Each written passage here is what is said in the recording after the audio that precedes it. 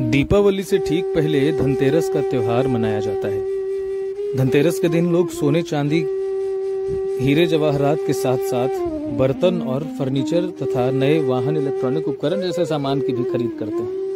परंतु ऐसी मान्यता है कि धनतेरस के दिन झाड़ू की खरीद की जाती है और लोग धनतेरस के दिन अपने घर नया झाड़ू खरीद कर लाते हैं। लेकिन क्या आप जानते हैं कि घर में नया झाड़ू लाने से पहले आपको कई ऐसी सावधानियाँ हैं जो बरतनी चाहिए, क्योंकि अगर आपने ऐसा नहीं किया तो आपको इसका फल मिलने की बजाय आपको इसके नकारात्मक परिणाम झेलने पड़ सकते हैं।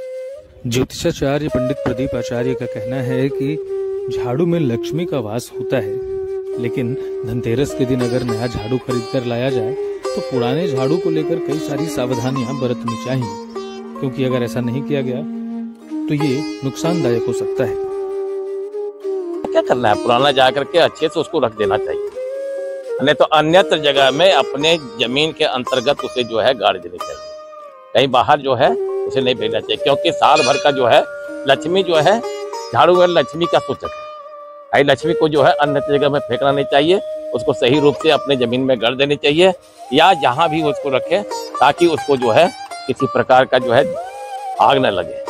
तो ये भी कहा जाता है कि पुराना झाड़ू अगर धनतेरस के दिन उसको लग जाए या दिख जाए तो अब शगुन माना जाता हाँ। अब सगुन माना जाता है। झाड़ू में ऐसे भी अब सगुन का चीज़ है। सुबह भी उठना के बाद जो है रात में सोने के बाद सुबह उठने के बाद झाड़ू को प्रणाम करके उठाने चाहिए पैर हाथ धो करके उठाने चाहिए है। ना? ज्योतिषाचार्य ने बताया कि धनतेरस के दिन अगर नया झाड़ू खरीद कर लाया जाए तो इससे पहले पुराने झाड़ू को अपनी नज़रों के सामने से हटा देना चाहिए। क्योंकि ऐसी मान्यता है कि दीपावली के दिन अगर पुराने झाड़ू पर नज़र पड़ जाए तो इसे अब अपशकुन समझा जाता है। उन्होंने कहा कि कुछ लोग ऐसा भी करते हैं कि पुराने झाड़ू को हटाने की बजाय उसे जला देते हैं, जो सही नहीं है। उन्होंने कहा कि किसी भी हाल में पुराने झाड़ू को जलाना नहीं चाहिए।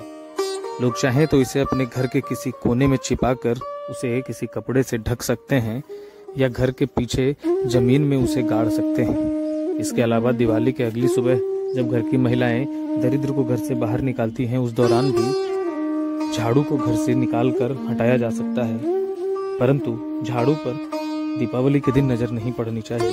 उन्होंने यह भी कहा कि झाड़ू में काला धागा बाँध कर भी इसे सुरक्षित किया जा सकता है, क्योंकि झाड़ू शुक्र ग्रह का परिचायक होता है, जबकि काला धागा शनि का परिचायक होता है।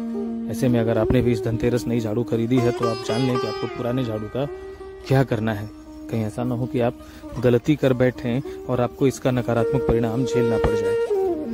लोकल एटीन के लिए जमुई से गुलशन कश्यप की रिपोर्ट।